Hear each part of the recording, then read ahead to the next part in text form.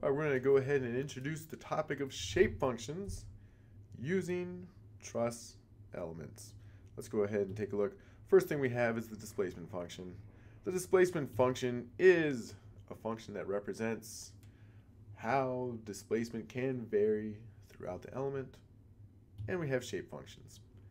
Shape functions describe the influence of the displacement for a given degree of freedom throughout that element. And the main difference between these is that the displacement function is written in terms of the shape functions, more specifically the product of the shape function multiplied by its corresponding degree of freedom.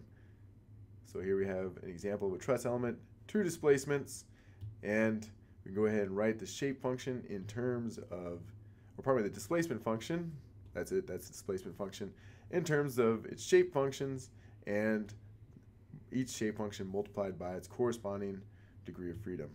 And there's the displacement function. All right. So the main question is, is how does the displacement vary across the element? In other words, like what type of polynomial can we use to describe the displacement throughout the element? So for line elements, they actually use governing physical equations. All right.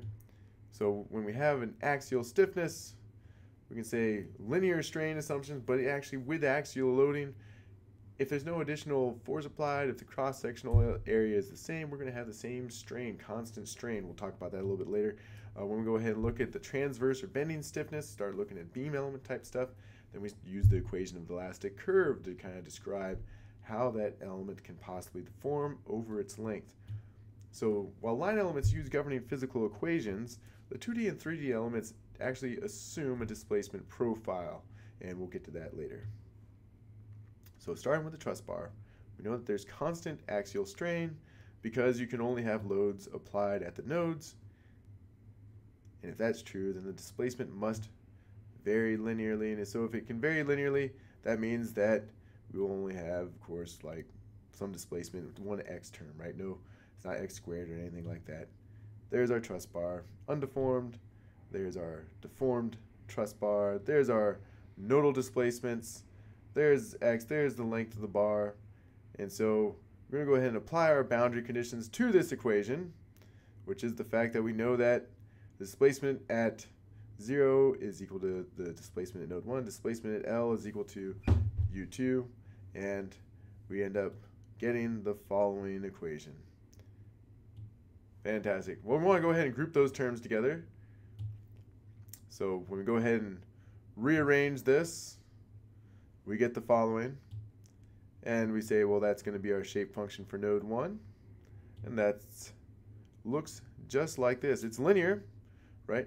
And notice how it goes from 1.0 at x equals 0 to 0 at x equals L and varies linearly throughout. So we can kind of see how the, the, the shape function represents the influence of our displacement at node 1. In other words, well, when our, we're looking at x equals 0 at node 1, well then, like, the displacement is the displacement in node 1, and that's what the shape function represents. And then, of course, there's no influence once we get to x equal L.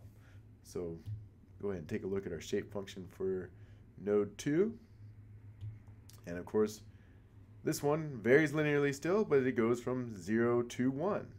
So this one represents the influence that the displacement at node 2 has on the overall displacement for the element.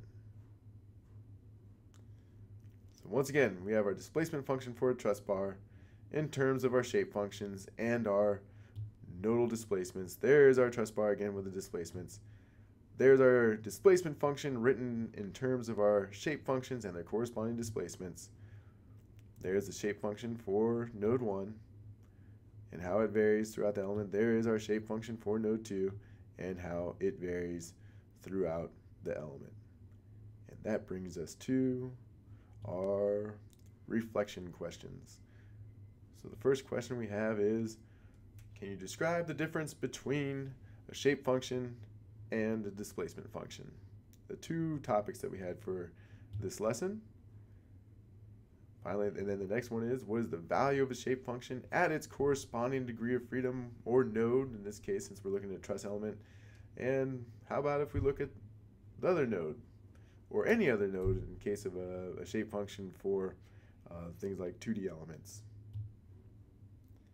And next question is, is how does the shape function vary along the length of a truss element?